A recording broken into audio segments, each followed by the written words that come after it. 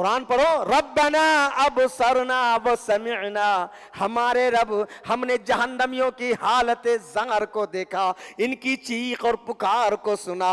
फर्जीना नामल साले, अल्लाह हमें दुनिया में एक चांस दे दे। अब टोली चौकी के प्लान नहीं बनाएँगे, फ्लैट नहीं बनाएँगे, घर का प्लान नहीं बनाएँगे, कार बंगले के ख्वाब नहीं सोचेंगे, क्या सोचेंगे? न अमल साल। अच्छे काम करके आएँगे। क्यों? इन्ना मुकिन यकीन हो गया। छोड़ देगा अल्लाह। दुनिया में इंस्पेक्टर साहब तप्पैत तो, हाँ तप्पैत तो, हाँ हा गए बेड़प्पा। हा, की वदी तुम नोड़प्पा बोलता। वहाँ बोलते हैं हाँ। अल्लाह ताला फरमाएँगे कुल्ला नफ्सिन हुदाहा। अरे, अगर हम चाहते हर बशर को हिदायत दे देते। हैं वलाकिन हक्कल कौल मिन्नी जहन्नम मिनल जिन्ना वन्नास अजमाइन हमारा फैसला हो चुका है, जहन्नम को जिन्नों और इंसानों से भरना है। दो तीन बातें बता करके सिर्फ़ सात मिनट का टाइम मेरे पास है। मैं दो तीन बातें बताता हूँ, अंबियाई ज़िंदगी के। इब्राहिम सलाम से ज़्यादा नेक बाप, नेक बेटा किसी और का हो सकता है? अल्लाह के खलील है है ना? हज़रत इब्राहिम सलाम अल्लाह के खलील हैं, अबुल अंबिया हैं। दुआ कर रहे हैं, वगफिर ले अभी नहू कान मिन अल्लाह मेरे बाप को माफ़ कर, मेरा बाप गुमराह हो चुका है। इब्राहिम का बाप शराबी था, कबाबी था, जुवाड़ी था, नर देखता था, कुछ और था, कुछ नहीं था। मशरक था, है ना? आज कितनों के माँ बाप नहीं होंगे? कितनों की बिरादरी में नहीं होंगे? इब्राहिम सलाम दुआ कर रहे हैं, वागफिर ले अभी मेरे बाप को माफ़ कर। इन्नहु काना मिनद्दालिन बेशक वो गुमराह हो चुका है। अल्लाह ने सुना इब्राहिम की बात? कुरान शाहिद आदिल है। वमा कान इस्तिगफार इब्राहिम अभी हज़रत इब्राहिम का अपने बाप के लिए दुआ करना बस वादे को निभाना था। फलम्मा तबैन लहू अन्नहु अदुल्लाह जब अल्लाह ने इस हकीकत को वादे किया, इब्राहिम, जिस बाप को तुम बाप मान रहे हो, बाप तुम्हारा है, दुश्मन मेरा है। दो ऑप्शन तुम्हारे पास है। बाप तुम्हारा है ना, लेकिन दुश्मन मेरा है। अन्नहु अदुल्लाह वो अल्लाह का दुश्मन है। क्या चाहिए, बाप या मैं? मैं और आप होते क्या अल्लाह? मैं तेरा दोस्त ना अल्लाह, तेरे दीन का दाई ना अल्लाह, मैं इतनी मेहनत कर रहा हूँ अल्लाह बोले, अल्लाह से बोले? नहीं।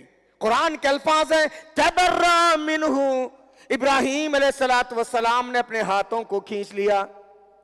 कल्ला, मैं बाप को बाप के रूप में देखकर दुआ किया, जो बाप मेरा है, दुश्मन तेरा है, वो मेरा भी दुश्मन है। अन्नहु तबर्रा मिनहू। हाथ खींच ले, नहीं कर सके। ठीक है बाबा। मेरे और आपका बाप तो नू जैसा नहीं है ना? है? इतना नेक, इतना सौले, इतना वफादार, इतनी लंबी उम्र जीने वाला, साढ़े नौ सौ बरस तक अल्लाह के दीन का दाई, है? मेरा और आपका बाप ऐसा है?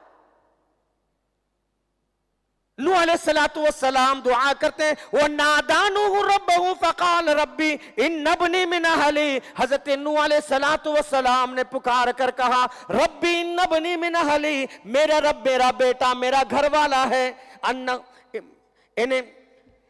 वो नादानू फकाल इन नबनी व इन हक, तेरा वादा सच्चा है, वो अंता हकमुल हाकिमीन, तू बेहतरीन फैसला करने वाला है।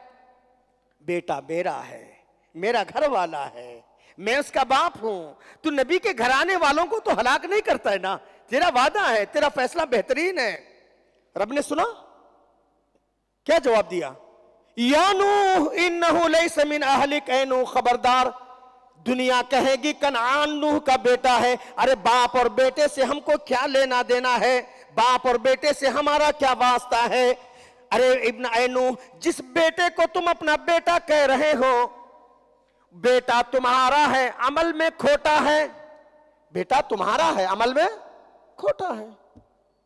इन आमल गैर साले, बेशक उसका अमल गैर साले है। फला तसअलनी मा इल्म आइंदा सवाल न करना, जिसका तुम्हें इल्म नहीं है, इन्नी आइजू का मैं तुमको नसीहत करता हूँ। अंतकूना मिनल जाहिलीन, कहीं तुम्हारी नबूवत छीन ना ली जाए, तुम्हारा शुमार नबियों के बजाय जाहिलों में ना हो जाए। अल्लाह अकबर। साढ़े नौ सौ बरस के दाई। आज है ना बाबा? हमको नाज है कि हम फला हैं फला हैं, फला हैं? हा? वहाँ अमल की लेबर्टी में चेकिंग होता है। सोचो, साढ़े नौ सौ बरस की मेहनत करने वाले एक बेटे के बारे में अल्लाह ने नहीं कबूल किया। कहीं मेरे और आपके घर में ऐसा कोई नाफरमान बेटा तो नहीं है जो मुशरिक है? बेदीन है, बेनमाजी है, दीन से गाफिल है, दीन बेजार है, आज है ये सब माशरे के अंदर। कहीं मेरे और आपके घर में नूह की बीवी जैसी कोई बीवी तो नहीं है फैशनेबल? मादा परस्त दुनिया परस्त दीन से दूर, शोहर के लिए हैडक, कहीं ऐसा तो नहीं है? कुरान में अल्लाह मिसाल दे रहे हैं। पारा नंबर 28 की आखिरी सूरत तारी में